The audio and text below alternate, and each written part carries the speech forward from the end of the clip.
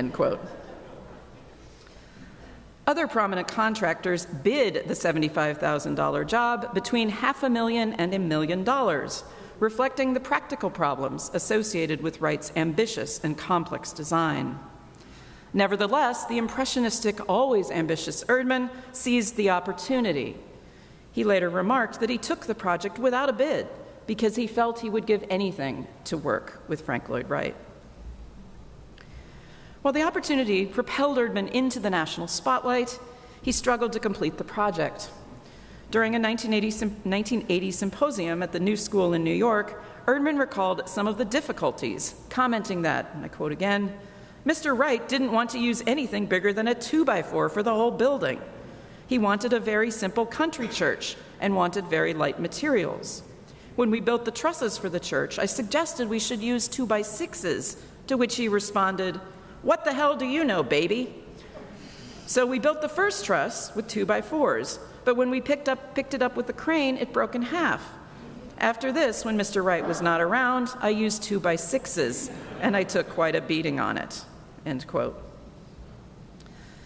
In another case, Erdman tried to add steel reinforcements to windows in the church's prow before Wright ordered them removed, and eventually they had to be reinstalled to avoid disaster.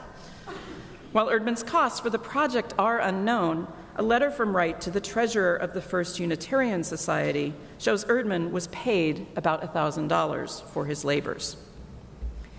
Despite the professional and personal challenges of the Meeting House Commission, Erdman defended his decision to come, become involved throughout his life, stating in 1980, The church got finished, and Mr. Wright ended up becoming like a father to me. I think perhaps he felt he had imposed on me a little, but I must admit I didn't mind. He told me that he would make me whatever I was to become, and he did. When we finished the church, people from all over the world called to ask if they could come see it. End quote. For Erdman, the chance to work with Wright undoubtedly helped cement his professional reputation. During the 1950s, in work he did with or without Wright, Erdman capitalized on his relationship with the famous architect as a powerful marketing tool. A feature in the Milwaukee Sentinel of 1951 focused on Erdman's low cost houses but touted his connection with Wright, as did advertisements for the Erdman Company through the 1950s and 60s. Erdman also seems to have been enamored with Wright's modular design method and the prairie style aesthetic, both of which remained an integral part of his subsequent work. In the wake of the Unitarian Project, Erdman refocused his energies on home building with an eye to continuing to streamline production in keeping with trends in the building industry. In 1952, he formed a, formed a partnership with Henry Pice, a local Madison builder and cabinet maker.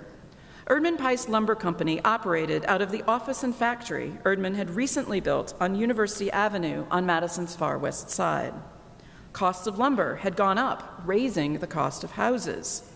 By pre cutting wooden components at their factory, Erdman Pice was able to pass savings on to clients and home builders. A series of advertisements in the Wisconsin State Journal in early 1953 promoted the company's availability to pre cut lumber for any house plan, as well as produce U form cabinets of birch or mahogany. A feature celebrated the company for cutting the cost of kitchen cabinets, cabinets in half through pre cutting the pieces that the homeowner would assemble themselves. Using pre cut pieces in standardized sizes also allowed clients to customize their kitchen cabinets and their arrangement. According to Pice, who spearheaded the U form cabinet projects, there is no place that the amateur can go wrong if he can fit one part within a groove or bring another flush against the proper neighboring part. The U form cabinets seem to have been a gateway for the partners.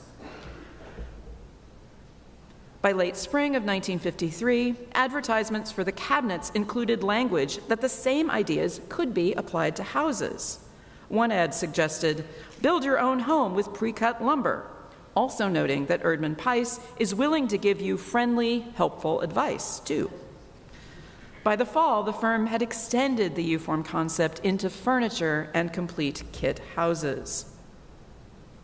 The firm hired Taliesin trained architect Herb Fritz to design a complete line of do it yourself plywood furniture meant to be assembled without nails and varnished by the customer, as the Wisconsin State Journal explained. And I quote A chair, for example, comes in four pieces seat, back, and two sets of legs. In less than two minutes, a person can insert the legs into the seat, the back into the seat, and presto, he has a chair. End quote. The idea was to create an entire line of ready made products by prefabricating the process as much as possible, making building of cabinets, furniture, and even houses a push pull click click process. Erdman and Peiss promoted the U-Formit product line as a DIY effort, which resonated with the home improvement craze then sweeping the nation. In fact, they debuted the furniture and the U-Formit line of houses at a weekend long do it yourself show in Madison in September of 1953. The company took out a series of full page ads in the local papers for the weekend show, which they promoted as the first of its kind in Madison. Held on the grounds of Erdman's office and factory, the show was open to multiple vendors, but clearly showcased the U form cabinets, furniture, and dwellings. The star of the show was Erdman's do it yourself house. Designed by the local architectural firm Weiler and Strang, the modern three bedroom dwelling made of pre cut parts could be built for around $9,000, inclusive of all materials, excavating, plumbing, and electrical work. In theory, the rest of the work could be done by the homeowner. Erdman displayed the home cut in half to show the nuances of construction, a strategy builders frequently use to stage their model homes. And of course, Erdman promoted the U form cabinets and furniture inside the dwelling itself. Life magazine featured the house in an article in October of 1953, noting that Erdman's pre cut houses were neither the first nor the cheapest kit. The Life editors boldly asserted that they were probably the best designed. For the next several years, Erdman focused his attention on the U-Formit houses. Several months after the Life article, Erdman announced the firm would construct a $250,000 addition to the factory specifically to cut parts for the pre-cut houses. Ads for U-Formit houses, as seen in Life, flooded local and regional papers. Despite the original plan to build the U-Form houses in a 400 mile radius of the factory, the effort was concentrated in Madison. Madison was Erdman's laboratory for testing the market for pre cut houses, as well as where he could experiment with working methods, pre cutting component parts and assembling these into a kit that could be erected on site by the homeowner. His broad promotional effort in local newspapers, magazines, and parade of home shows was typical of the way in which merchant builders across the nation grew their businesses. It is in this context that Erdman took the next step into more complete prefabrication, which led to the experiment with Wright, which I talked about at the beginning of this lecture. UW Milwaukee architectural historian Paul Sprague has attributed the genesis of the Erdman Wright prefabs to a chance stop Erdman made at Wright's Madison office to use the phone sometime in 1954. When Erdman saw, I'm sorry, excuse me, when Wright saw Erdman's designs for the U-Formit dwellings, he told him he could design a much better house. By February of 1956, the pair had decided to go forward with construction of the first model, the one featured in House and Home. The plan was derived from 16 inch modular units. Walls were built of 8 by 8 foot stressed skin modular panels with redwood battens on the exterior and mahogany battens on the interior. Panels were prefabricated at Erdman's Madison factory and shipped to the building site, extending Erdman's working method beyond pre-cutting components into more complete prefabrication. News articles from around the country hailed the first prefabricated house as an aesthetic breakthrough in prefab housing bringing together Wright's world renowned design and aesthetic with the latest trends in the building industry. Wright designed two more model prefabs for Erdman, although only one of these two was built. This model, like the first, being completed in Madison. The two story dwelling was based on Wright's conception of the one room house. The entire house was designed on a two foot module. The two story window walls show this well with a series of two foot by four foot windows. Like the first model house, the second prefab received plenty of attention in the national media, but it also had meaning in a local context. Mary Ellen Rudin, one of the original homeowners, explained to me in a 2011 interview how she and her husband Walter came to purchase the house when they were both young UW mathematics professors. Erdman took them to see it after it did not sell during the 1959 Parade of Homes, marketing it to the young couple as an economical way to own a house designed by the master, Frank Lloyd Wright. Rudin explained that Erdman also sold them add ons in the form of Wright designed furniture, several pieces of which they, they purchased to furnish the house. A Madison based experiment in prefab design, the Rudins made the house their home for 51 years. Despite an outpouring of national press attention, the Erdman Wright prefabs never achieved widespread success.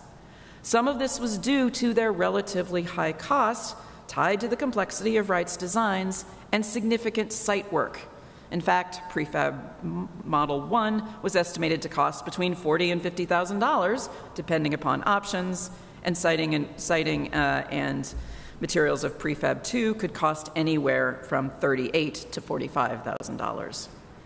Yet this experiment, largely confined to the two Madison models and several examples in the region and a few isolated examples elsewhere, proved formative on Erdman's other major endeavor in the late 1950s, the prefabricated medical buildings.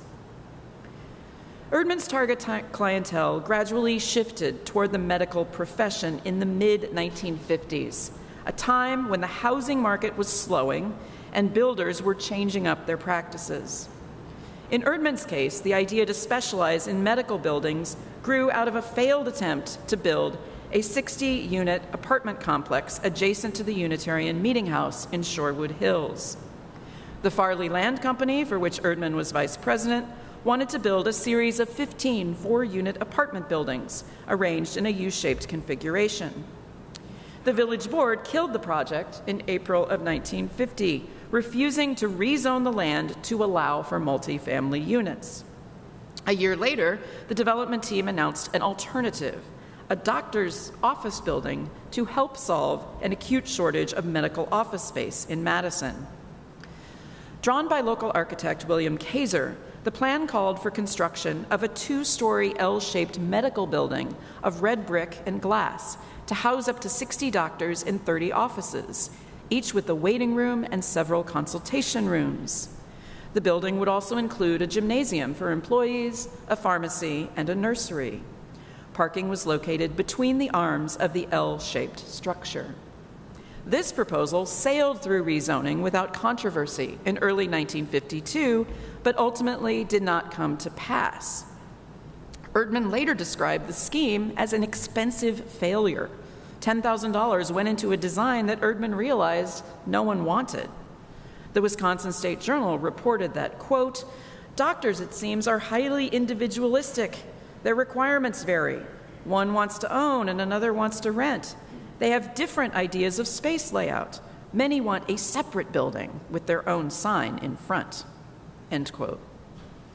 So instead of the large medical building, Erdman erected the first Doctors Park in 1955, taking advantage of the more permissive zoning to construct a series of 10 to 12 small buildings, each designed for and privately owned or occupied by a small cadre of partner doctors.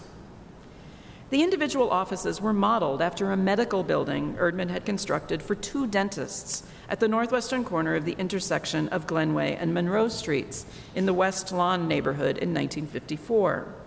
William Kaeser, who had designed the plan for the medical arts facility, developed models after this example for three different kinds of offices at Doctors Park to accommodate between one and three doctors. Each building stood on a roughly half acre parcel of land, allowing for parking for several cars and surrounded by ample landscaping. Thus, the scheme mirrored the residential setting of suburban neighborhoods on Madison's west side. The offices visually blended with the nearby single family dwellings and yet offered a commercial service, medical care, for suburban residents. Erdman applied thinking from his U format dwellings to the medical buildings, using modular planning and prefabricated components. Essentially, the buildings employed a plug and play system by which doctors customized their offices around their individual needs. As Erdman explained in a 1957 article in the Milwaukee Journal, the basic unit was a 28 by 48 foot structure of prefabricated parts assembled at the Madison factory. It contained a waiting room, reception room, four exam rooms, and laboratory utility spaces. The article touted that flexibility of size is one of the features. Additional rooms can be added in pairs to the end of the structure, or side by side duplex models are available, as well as an L shaped plan. Moreover, doctors could choose redwood, cedar, or composition siding, or masonry for an additional cost, as well as purchase Erdman's prefabricated cabinetry. As important as the flexible design scheme was to the success of individual medical buildings, Erdman's conception of siting these buildings in a park was arguably more vital for their ultimate popularity. Moving the buildings to the suburbs took the practice of medicine out of downtown hospitals, which meant medicine was more accessible to suburban patients, something doctors appreciated about the parks. The location of individual officers in a, offices in a clustered setting meant that doctors could consult with or send patients to specialists as needed, like a hospital, but without the problems of a downtown location, specifically parking. According to Erdman, and I quote, for a group of doctors interested in maintaining independent practices and yet remaining in close touch with other doctors who are specialists in others' fields, doctors' parks are the answer, end quote. And we can perhaps talk about that uh, individualism uh, a bit later in the Q&A. Doctors' parks, which the Wisconsin State Journal called shopping centers for medicine, also satisfied an auto-oriented middle-class culture. Built in suburban locations where inexpensive land was plentiful, the medical offices were surrounded by ample parking, which won the patronage of suburban middle class residents. In a 1964 article for the Physicians Management Journal on the medical buildings, Erdman wrote, Adequate parking for a doctor's office is as important as an efficiently planned medical building. Erdman went on to argue that one couldn't isolate consideration of a building from parking that they should be thought of as one entity. Erdman again. Generous parking is not a luxury, it is a necessity. The first Doctor's Park in Madison also included a drive in pharmacy, perhaps the first in the nation. It opened to great fanfare on June 16, 1958. Erdman's logic in locating a pharmacy in the park was tied to his conception of it as a medical community. As Erdman explained, a doctor could easily call the prescription over to the pharmacy such that the patient could pick it up on their way home. This conception of doctors' parks as communities of individuals resonates with the post war suburban context in which these parks were located. Erdman consciously designed his buildings and their landscaping to echo the middle class suburban domestic landscape. Part of this was to provide pleasant surroundings in which to work, but there were other tactical advantages that Erdman undoubtedly recognized. The fact that the buildings looked like mini houses allowed them to blend such that they would easily be allowed by exception in R1 residential zoning. For Erdman, doctors' parks were part and parcel of post war suburbia. As he opined in Physicians Management, and I quote again, a doctor's park provides the answer to ever increasing problems of downtown traffic congestion and lack of access and parking, and takes the practice of medicine to residential areas where the greatest number of patients can be served. End quote. This made sense to Erdman. Patients were in the suburbs, so removing the parks to this area was logical, even if he had to initially convince doctors and to an extent patients of this logic. To do so meant launching a publicity campaign of sorts.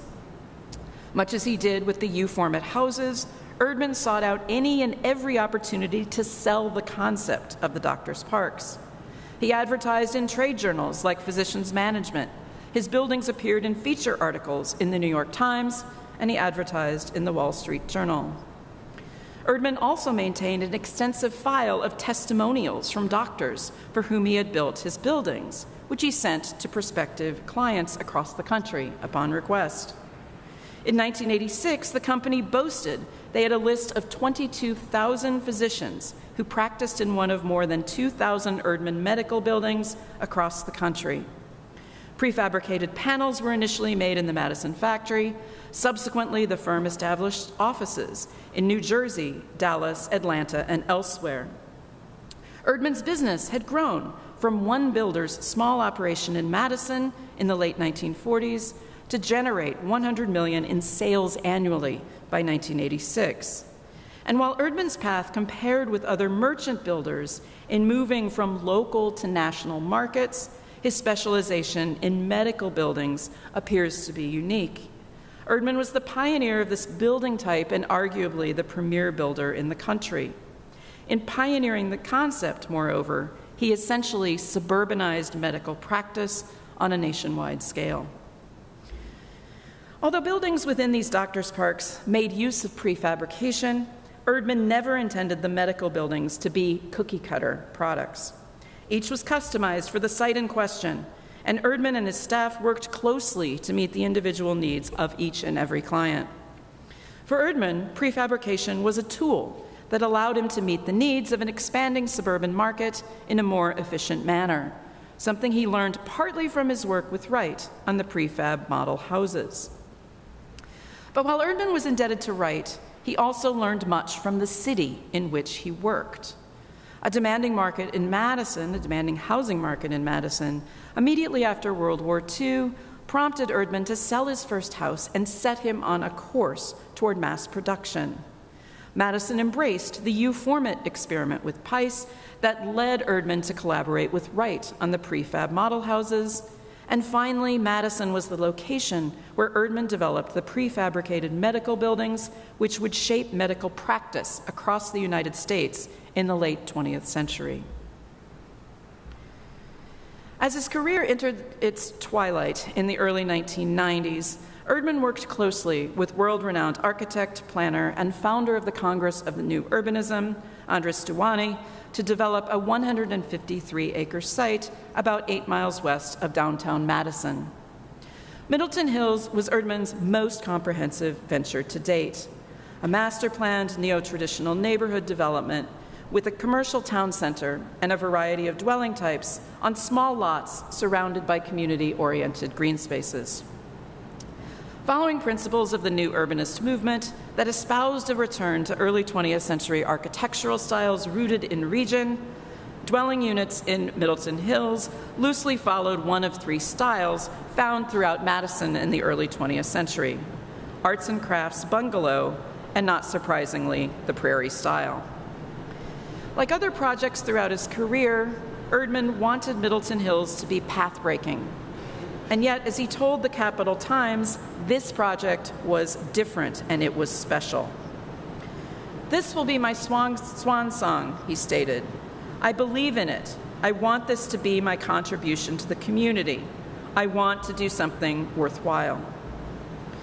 After more than a year of negotiating zoning and permits, Middleton Hills received final approval in September of 1994 fulfilling Erdman's wish to give back to the community that had nurtured so many of his pioneering experiments. I end this lecture by looking more closely at the landscape of Erdman's swan song. The use of the prairie style supports the new urbanist commitment to region while honoring Wright's legacy. Today, the development pays tribute to the local by preserving a sizable uh, wetland area and at the Prairie Cafe, which boasts of the Wright burger with a W. Then there's the street names, which pay homage to the landscape, such as Glacier Ridge Road, and notable figures with connections to Wisconsin, such as John Muir, Aldo Leopold, and Gaylord Nelson, and of course, Wright himself. Undoubtedly, Erdman viewed Wright as a kind of father figure, and as I've shown, made much of their relationship across his career. And yet, there's so much more to the story than Erdman's reverence for the world famous architect. And you might take a moment to consider here who's on top. At Middleton Hills, Erdman paid homage to his home, the place where he entered the building industry, transformed the field of prefabricated construction, became the nation's leading producer of medical buildings, and revolutionized production of office furniture in this country. Middleton Hills is, as Erdman wanted, a swan song, but not just as a cap to a productive building career. Rather, I see it as a tribute to his home for five decades, and it echoes the theme of my talk today that understanding Erdman's building career demands we attend to the ways in which his buildings were Madison made. Thank you so much.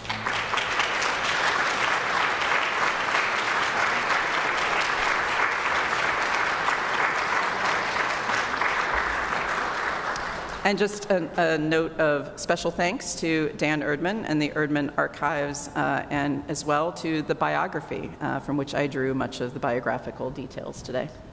Great. So uh, my colleague and I will walk around uh, the mic with, uh, for questions. So. Thank you, Anna. Um, one of the things uh, Marshall did halfway through his career started in an art department because he was tired of doctors' wives finishing off the buildings, and he would loan art that mostly was accepted, and it was a beautiful way to finish off buildings. But you made no mention of that. I kind of viewed that as a innovation that you know is part of the Erdman legacy of you know really finishing these buildings off uh, in an extraordinary way. Uh, how do you view that? It was in the Moe D'Alessio book yes. uh, about the art department. Sure. Thanks, Steve.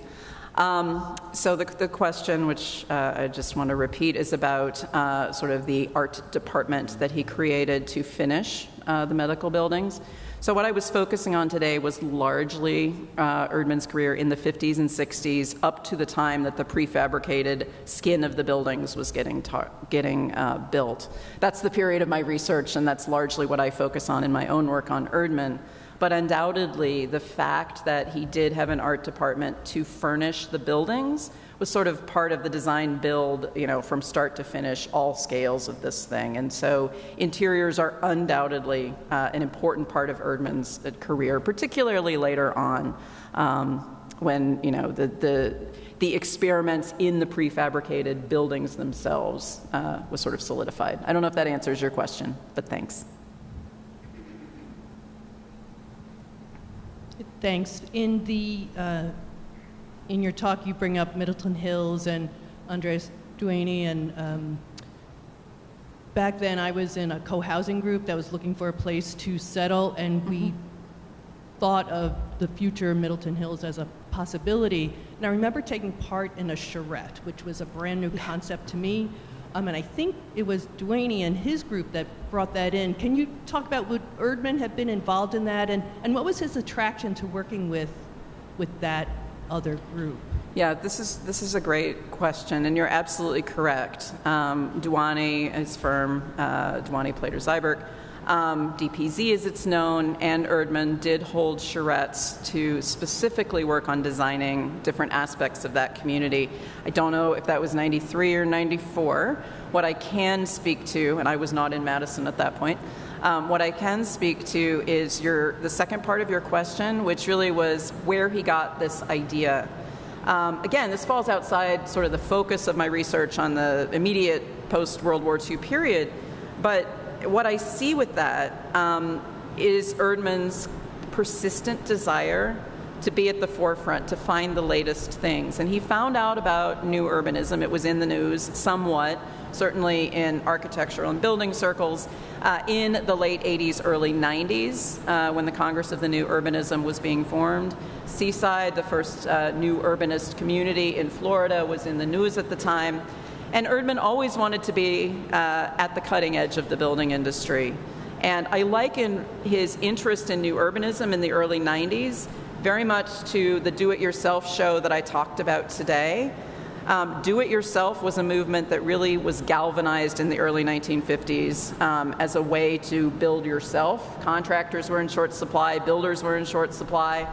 And so Erdman heard about this. He saw that there were do it yourself shows elsewhere, including famous ones in 1953, the same year he staged the one in Madison. There was one in New York and one in Chicago. And he got right on it. He did it. And I think that's the same as what you see with Middleton Hills and his interest in new urbanism.